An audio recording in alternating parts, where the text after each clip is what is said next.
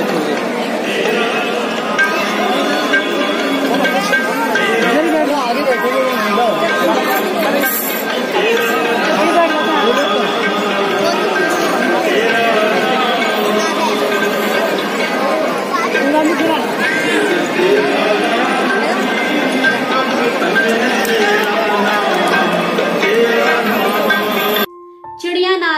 बाज लड़ावा। गिदरा नू में शेर बनावा। सवा लाख ते एक लड़ावा। तबे गोविंद सिंह नाम कहावा।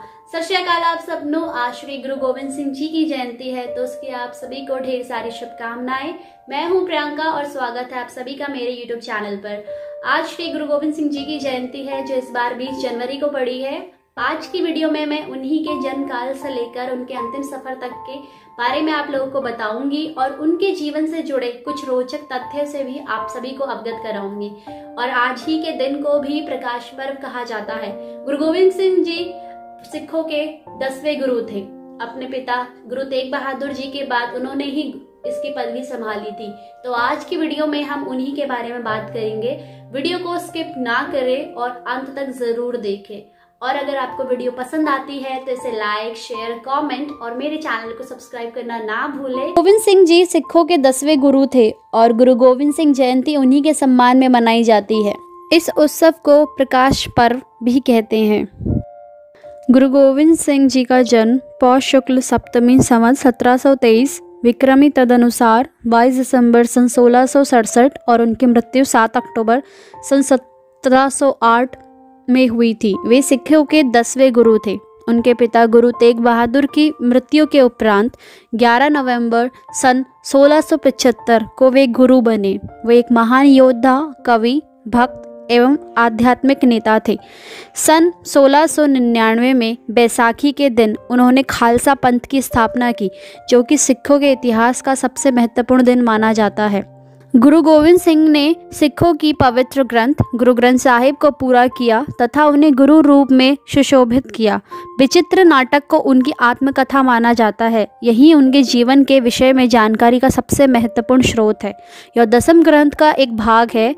दसम ग्रंथ गुरु गोविंद सिंह की कृतियों के संकलन का नाम है। उन्होंने मुगलों या उनके सहयोगियों, जैसे शिवालिक पहाड़ी के राजा के साथ चौदह युद्ध लड़े। धर्म के लिए समस्त परिवार का बलिदान उन्होंने किया, जिसके लिए उन्हें सर्वंशदानी भी कहा जाता है। इसके अतिरिक्त जनसाधारण में वे कलगीधर, दशमेश बांजरा वाले आदि कई नाम, उपनाम व उपाधियों से भी जाने जाते हैं।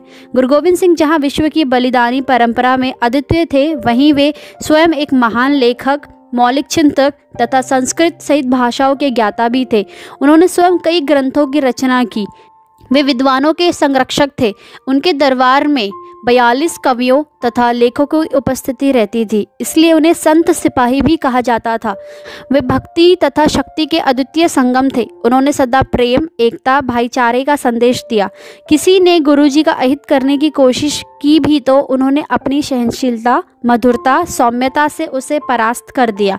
गुरुजी की मान्यता थी कि मनुष्य को डराना भी नहीं चाहिए और ना किसी से डरना चाहिए। वे अपनी वाणी में उपदेश देते हैं, भय काहू को देत नाही ना ही भय मानत आन। वे बाल्यकाल से ही सरल, सहज, भक्तिभाव वाले कर्मयोगी थे। उनकी वाणी में मधुरता सादगी सौजन्यता एवं वैराग्य की भावना कूट कूट कर भरी थी। उनके जीवन का प्रथम दर्शन ही था कि धर्म का मार्ग सत्य का मार्ग है और सत्य ही सदैव विजय होती है। अब जानते हैं उनके जन्म के बारे में। गुरु गोविंद सिंह का जन्म नौवे सिख गुरु गुरु तेग बहादुर और माता गुजरी के घर पटना में 22 दिसंबर सन सोलह यानी 1666 को हुआ था। जब वह पैदा हुए थे, उस समय उनके पिता असम में धर्म उपदेश को गए थे। उनके बचपन का नाम गोविंद राय था। पटना के जिस घर में उनका जन्म हुआ था और जिसमें उन्होंने अपने प्रथम चार वर्ष बिताए थे, वहीं पर अब तख्त श्री पटना साहिब स्थित है। सन 1670 में उनका परिवार फिर पंजाब आ गया। मार्च सोलह में उनका परिवार हिमालय के शिवालिक पहाड़ियों में स्थित चक नानकी नामक स्थान पर आ गया। यहीं पर इनकी शिक्षा आरंभ हुई। उन्होंने फारसी, संस्कृत की शिक्षा ली और एक योद्धा बनने के लिए सैन्य कौशल सीखा। चक नानकी ही आजकल आनंदपुर साहिब कहलाता है। गोविंद राय जी की नित्य प्रति आनंदपुर साहिब में आध्यात्मिक आनंद बांटते, मानव मात्र में नैतिकता, निडरता एवं आध्यात्मिक जागृति का संदेश देते थे। आनंदपुर वस्तुतः आनंद धाम ही था। यहाँ पर सभी लोग, वर्ण, रंग, जाति, संप्रदाय के भेदभाव के बिना समता, समानता एवं समरसता का अलौकिक ज्ञान प्राप्त करते थे। गोविंद जी शांति, क्षमा, सहनशील की मूर्ति थे। कश्मीरी पंडितों का जब जबरन धर्म परिवर्तन करके मुसलमान बनाए जाने के विरुद्ध फरियाद लेकर गुरु तेग बहादुर जी के दरबार में आए और कहा, हमारे सामने ये शर्त रखी गई है कि कोई ऐसा महापुरुष जो इस्लाम स्वीकार नहीं कर अपना बलिदान दे सके तो आप सबका भी धर्म परिवर्तन नहीं किया जाएगा। उस समय गुरु गोविंद सिंह जी नौ साल के थे। उन्होंने पिता गुरु तेग बहादुर जी से कहा कि आपसे बड़ा महापुरुष और कौन हो सकता है? कश्मीरी पंडितों की फरियाद सुन उन्हें जबरन धर्म परिवर्तन के बचाने के लिए स्वयं इस्लाम ना स्वीकारने के कारण 11 नवंबर सन 1675 को औरंगज़ेब ने जब दिल्ली के चांदनी चौक में सार्वजनिक रूप से उनके पिता तेग बहादुर का सिर कटवा दिया, इसके पश्चात बैसाखी के दिन 21 मार्च सन 1676 को गोविंद सिंह को सिखों के दसवें गुरु घोषित हुए।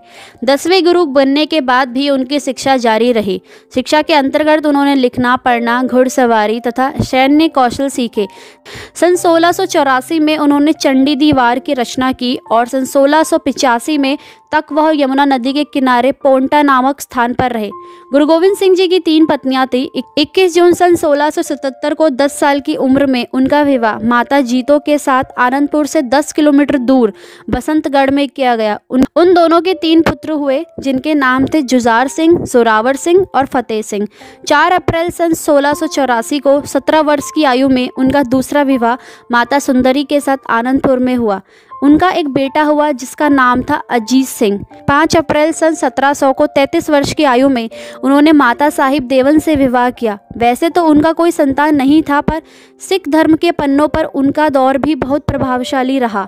अप्रैल सोलह में सिरमौर के राजा मत प्रकाश के निमंत्रण पर गुरु गोविंद सिंह ने अपने निवास को सिरमौर राज्य के पावंटा शहर में स्थानांतरित कर दिया। सिरमौर राज्य के गजट के अनुसार, राजा भीमचंद के साथ मतभेद के कारण गुरुजी को आनंद साहिब छोड़ने के लिए मजबूर किया गया था और वे वहाँ से टोका शहर चले गए। मत प्रकाश ने गुरुजी को टोका से सिरमौर की राजधानी नाहन के लिए आमंत्रित किया। नाहन से वह पवंटा के लिए रवाना हुए। मत प्रकाश ने गढ़वाल के राजा फतेह शाह के खिलाफ अपनी स्थिति मज़बूत करने के उद्देश्य से गुरुजी को अपने राज्य में आमंत्रित किया था। राजा मत प्रकाश के अनुरोध पर गुरुजी ने पावंटा में बहुत कम समय उनके अनुयायी की मदद की और एक किले का निर्माण करवाया। गुरुजी पावंटा में लगभग तीन साल के लिए रहे और कई ग्रंथों की रचना की। आइए अब जानते हैं कि खालसा पंथ की स्थापना कैसे हुई। गुरु गोविंद सिंह जी का नेतृत्व सिख समुदाय के इतिहास में बहुत कुछ नया लेकर आया। उन्होंने सन सोलह में बैसाखी के दिन खालसा, जो कि सिख धर्म के विधिवत दीक्षा प्राप्त अनुयायियों का एक सामूहिक रूप है, उसका निर्माण किया।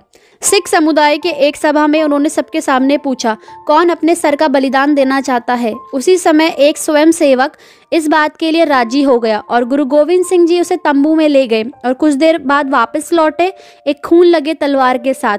गुरु ने दोबारा उस भीड़ के लोगों से वही सवाल पूछा और उसी प्रकार एक और व्यक्ति राज़ी हुआ और उनके साथ गया और वे तंबू से जब बाहर निकले तो खून से सना तलवार उनके हाथ में था। उसी प्रकार पांचवा स्वयं सेवक जब उनके साथ तंबू के भीतर गया कुछ देर बाद गोविंद सिंह सभी जीवित सेवकों के साथ वापस लौटे और उन्हें पंच प्यारे या और पहले खालसा का नाम दिया। उसके बाद गुरु गोविंद जी ने एक लोहे का कटोरा लिया और उसमें पानी और चीनी मिलाकर दुधारी तलवार से घोलकर अमृत का नाम दिया। पहले पाँच खालसा बनाने के बाद उन्हें छठवा खालसा का नाम दिया, जिसके बाद उनका नाम गुरु गोविंद राय से गुरु गोविंद सिंह रख दिया गया। उन्होंने पाँच ककारों का महत्व खालसा के लिए समझाया और कहा, केश, कंगा, कड़ा, कृपान, कचेरा। चिड़िया नाल जब बाज लड़ावा, ता गोबिंद सिंह नाम कहावा। एक दिन गुरु गोविंद सिंह जी अंबाला शहर के बाहर जा रहे थे। वहाँ एक बहुत बड़ा बाग था। उस बाग का मालिक एक पीर अमीर दिन था। उसके पास एक काला बाज था। जब गुरुजी उस बाग में पहुँचे तो उस समय पीर अमीर दिन भी वहाँ मौजूद था। गुरुजी का सफ़ेद बाज पीर को बहुत अच्छा लगा और वह यह सोचने लगा इतना सुंदर बाज है मैं किस तरीके से इस बाज को अपना बना सकता हूँ? उसने श्री गुरु गोविंद सिंह जी को चुनौती दी। मैं तुम्हें इस बात की चुनौती देता हूँ कि मेरे काले बाज से तुम अपना सफ़ेद बाज लड़वाओ। जिसका बाज जीतेगा, वह इन दोनों बाजों का मालिक हो जाएगा। गुरुजी, पीर अमीरदीन की मंशा को भाप गए थे। उन्होंने ऐसा करने से मना कर दिया और कहा कि वह पीर के बाद से बाज को नहीं, चिड़िया को लड़वाएँगे। पीर गुरुजी की बात को सुनकर हंसने लगा। क्या बात करते हो मिया? चिड़िया से बाज को लड़वाओगे? कभी ऐसा भी हो सकता है। चिड़िया नाल जब बाज लड़ावा, ता गोविंद सिंह नाम कहावा। गुरुजी ने अपनी कृपा दृष्टि पेड़ पर बैठी दो चिड़ियाओं पर डाली। दोनों चिड़ियाओं ने बड़ी हिम्मत से लड़ाई की और अंत में बाज को जान से मार दिया। पीर को अपनी गलती महसूस हुई और उसने गुरुजी के मान में एक मंच बनवाया। जिस स्थान पर आज गुरुद्वारा बादशाही बाग है, यह गुरुद्वारा अंबाला में स्थित है। गुरुओं की हर बात में राज था। आप जानते हैं कि गुरु गोविंद सिंह जी अपने साथ सफ़ेद बाज क्यों रखते थे? बाज अपने आप में खालसा का प्रतिनिधित्व करता है। आज हम आपको बताएँगे कि बाजा वाला अपने साथ बाज क्यों रखते थे।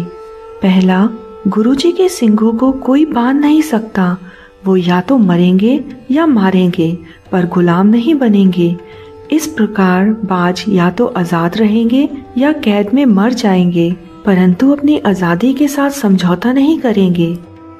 दूसरा, जिस तरह से सिंह, बहादुर, हिम्मत वाले व अपने साथ हमेशा कृपान रखते हैं, मुश्किल पलों में बिना वक्त गवाए अपने दुश्मनों पर आक्रमण करते हैं और उन्हें बचने का मौका तक नहीं देते उसी प्रकार बाज भी अपने शिकार को अपने हथियार रूपी पंजों से बचने का मौका नहीं देता।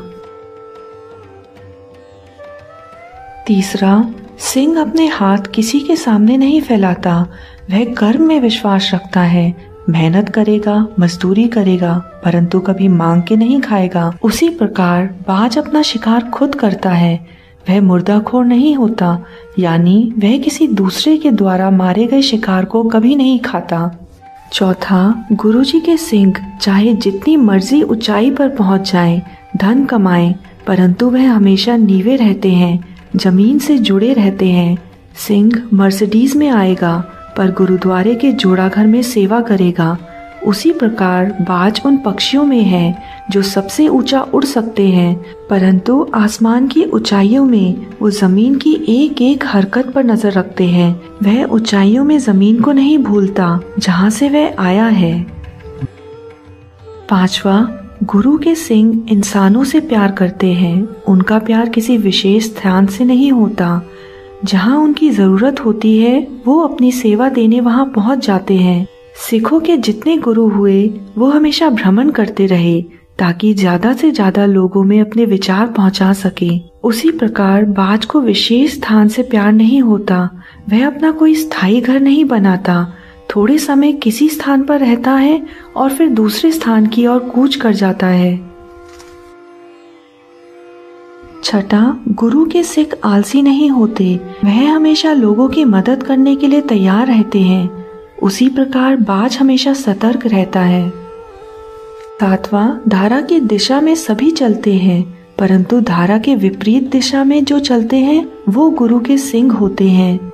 जहाँ लोग डर के मारे अपने कदम पीछे कर लेते हैं, वहाँ सिंह अपनी जान की परवाह न करते हुए दुश्मनों से भिड़ जाते हैं। उसी प्रकार बाज भी हमेशा हवा के विपरीत दिशा में उड़ता है, जबकि और सभी पक्षी हवा के रुख की ओर उड़ते हैं।